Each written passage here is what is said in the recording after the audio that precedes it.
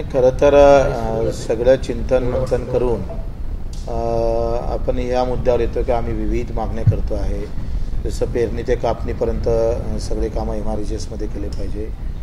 आणि शेतकऱ्यांना उत्पादन खर्च कमी करण्यासाठी म्हणजे जर आपण भाव देऊ शकत नाही आणि वाढलेले भाव कमी करण्यासाठी सरकार नेहमी धावपळ करतं तर या सगळ्या याच्यामध्ये सरकार नेहमी सांगतं का आमच्याकडे पैसा नाही आहे आणि म्हणून आम्ही आता सरकारसमोर शेतकरी आणि शेतमजुराचं आर्थिक आरक्षण ठेवत आहे.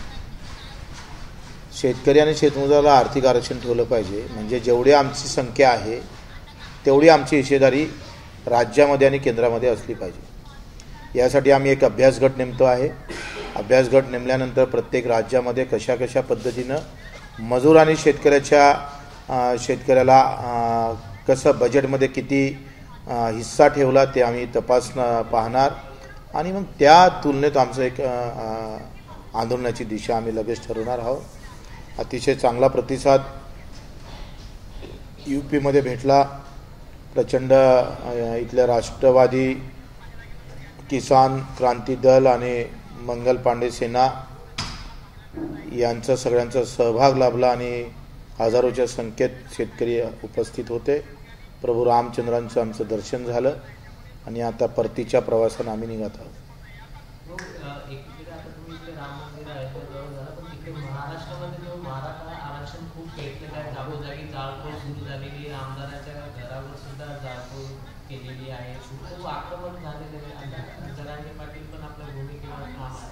मला वाटते दोन तीन गोष्टी आहे. मराठा आंदोलनामध्ये प्रचंड शक्ती प्राप्त झालेली आहे. याच्यात काही दुमत नाही. आणि ती शक्ती शांततेतूनच अधिक मजबूत होऊ शकतं.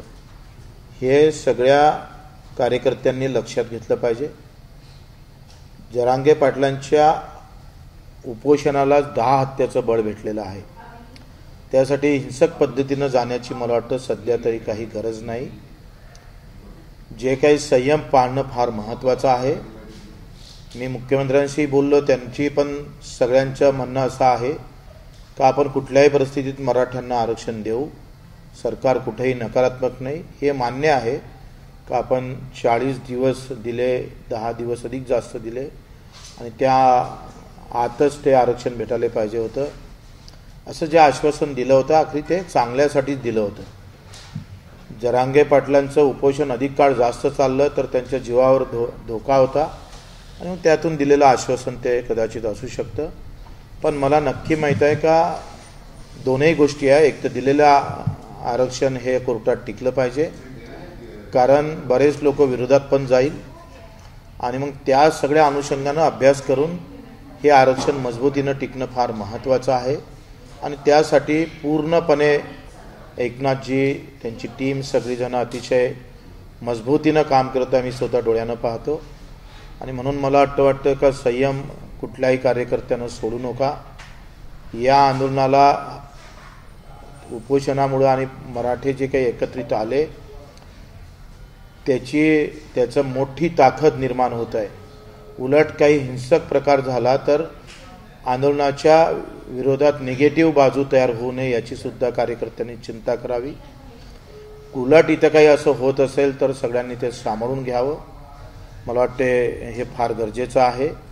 मराठा आरक्षण असेल धनगर बांधवाचं असेल मुस्लिम बांधवाचं असेल या सगळ्या गोष्टीवर कायमचा तोगडा तोडगा निघाला पाहिजे. आणि म्हणून आम्ही मी स्वतः हे आंदोलन शांततेत राहावं आरक्षण भेटावं आणि सरकारनं यावर गंभीरपणे दखल अधिक मजबूतीनं आणि लवकर घ्यावी यासाठी मी शिंदेखेड राजा येथे सहा तारखेला किंवा त्यापास आसपास आम्ही रक्तदान शिबिर करून मी स्वतः रक्तदान देऊन रक्त सांडून नाही तर रक्तदान करून या आंदोलनाला पाठिंबा आम्ही देणार आहोत. फक्त हिंसक वळण न देता त्याला हिंसक हा प्रकार लागू न देता आपण आत्मविश्वासानं तुम्हाला सगळ्यांना सांगतोय का आरक्षण भेटणार आणि सरकार दिल्याशिवाय राहणार नाही. आणि तुमच्या ए- ज्या एकोप्याला प्रचंड ताकद निर्माण झालेली आहे. आणि जेव्हा अधिक जास्त संख्येनं असतो तेव्हा बळाचं वापर करण्याची गरज नसतं. ती संख्याच बळ होऊन समोर येत असतं असं मला वाटतं. आणि म्हणून आपण सर्वांनी अतिशय संयमानं मला वाटते जरांगे पाटलांनी सुद्धा पाणी प्यावं त्यांचं राहणं त्यांनी या आंदोलनासाठी पुन्हा निवळ आरक्षण भेटून चालणार नाही. तर समाजाला एक प्रचंड बळ देण्याची भविष्यात गरज आहे. आणि म्हणून त्यांनी आपल्या प्रकृतीला सांभाळणं सुद्धा गरजेचं आहे. मी त्यांना हात जोडून विनंती करतो का आपण किमान पाणी तरी प्यावं आणि या आंदोलनाला बळ देण्यासाठी आपलं आरोग्य चांगलं राहणं फार गरजेचं आहे असं मला वाटतं. आणि म्हणून त्यांना सुद्धा तशी विनंती करतो आहे. हिंसक वळण कुठं देऊ नका अशी नम्र विनंती. सहा तारीख आमची नोव्हेंबरमधली. सहा नोव्हेंबरला आम्ही जिजाऊच्या जन्मस्थानी शिंदेखेड राजाला रक्तदान करून आम्ही ह्या आंदोलनाची आंदोलनाला पाठिंबा देऊ. त्यात धनगर आरक्षण बा बांधवाचं आरक्षण असेल मुस्लिम बांधवाचं असेल आणि खास करून मराठी बांधवांचं असेल.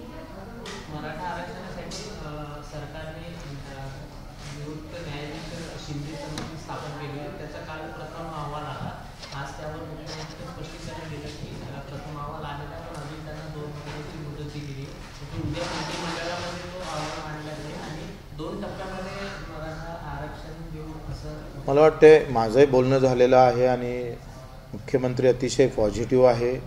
त्यांनी स्वतः सांगितलं की आपण काहीही करून कुठल्याही परिस्थितीत याचं समाधान चांगल्या प्रकारचं उत्तर आपण काढू. आणि त्या प्रयत्नात आहे. मला विश्वास आहे का?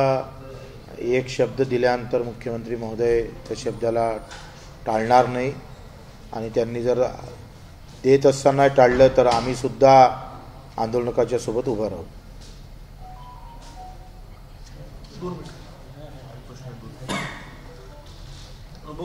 गृहमंत्र्यांनी राजीनामा देण्याची मागणी केलेली आहे संजय राऊतांनी. महाराष्ट्र पेटलेला असताना फडणवीस छत्तीसगडमध्ये प्रचार करत आहेत तर दुसऱ्या उपमुख्यमंत्र्यांना राजकीय राजकीय डेंग्यू झाला अशी टीका जी आहे ती संजय राऊतांनी केलेली आहे. कसं पाहता या राज्यात घटना घडते मला वाटतंय संजय राऊत नेहमी नॉट बॉल टाकतं.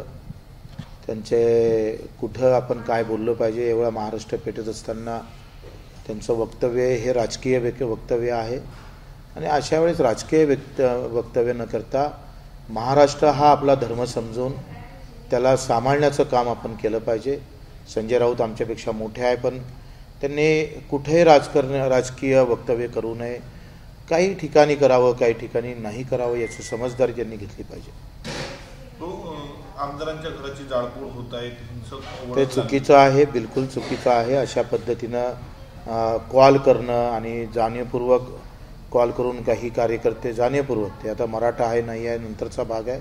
परंतु जाणीवपूर्वक उलटं बोलून त्यांच्या तोंडातून काहीतरी वेगळं निघेल असा प्रयत्न करणं हे चुकीचं आहे. नंतर घर जाळणं हे त्याच्यापेक्षा चुकीचं आहे. कोणाचं घर जाळासाठी मराठा कार्यकर्ता किंवा मराठा निर्माण झाला नाही तर मराठ्यांनी घरं निर्माण करण्याचं काम केलं हे विसरू नका. आपण जर छत्रपती शिवरायचा मानणारे भक्त असाल तर शिवरायांनी घरं निर्माण केलेले आहे. आणि मला वाटतं सगळ्यांना घेऊन आपण सगळ्यांना समाधान करून सगळ्यांना सोबत घेऊन हे यश प्राप्त केलं पाहिजे असं मला वाटते.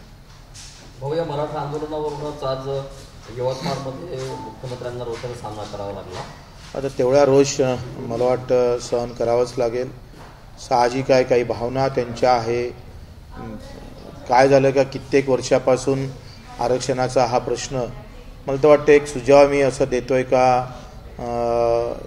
यामध्ये एक अधिक जर तोडगा काढला पुढं मागं का ज्यांनाही नोकरीसाठी आरक्षण आहे शैक्षणिक आरक्षण आहे तर शैक्षणिक आरक्षण मला वाटतं सगळ्यांना भेटलं पाहिजे. शिक्षण हे सगळ्यांसाठी खुलं असलं पाहिजे. ते जाती धर्माच्या पलीकडे जाऊन जो जो काय असेल त्याला शिक्षणाची गंगा घरापर्यंत नेऊन त्याला उभी करून मजबूतीनं राहिलं पाहिजे. राहिला नोकरीचा विषय. तर मला असं वाटतं का का सगळ्यांनाच काही नोकरी लागणार नाही. आणि मग असं जर काही उपाय करता आला का ज्यांनी नोकरीचं आरक्षण मागे घेतलं काही समाजानं असं पुढाकार काही प्रयत्न केला किंवा आले समोर तर त्यांना आर्थिक आरक्षण द्यावं. म्हणजे या काही समाज बांधव असे आहे की जे व्यवसायच करतं परंपरेनं आणि ते नोकरीत त्यांचा मर शेवटपर्यंत नंबर लागत नाही. तर असं एक दुसरा पर्याय ठेवला पाहिजे सरकारनं. सगळ्यांसाठी. का जर तुम्ही नोकरीचं आरक्षण सोडा सोडत असाल तर आर्थिक आरक्षण आम्ही तुम्हाला देऊ. जेवढं नोकरीत तुम्ही कमावत असाल तेवढं त्यांना व्यवसायासाठी उभं करावं. असाही काही तोडगा काढता येतं तर काही हरकत नाही. एबीपी माझा.